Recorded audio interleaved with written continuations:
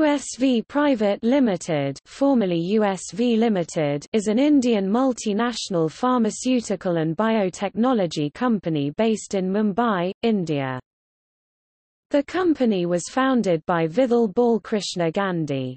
The company is focused on the development of small molecule active pharmaceutical ingredients along with custom research services for drug development.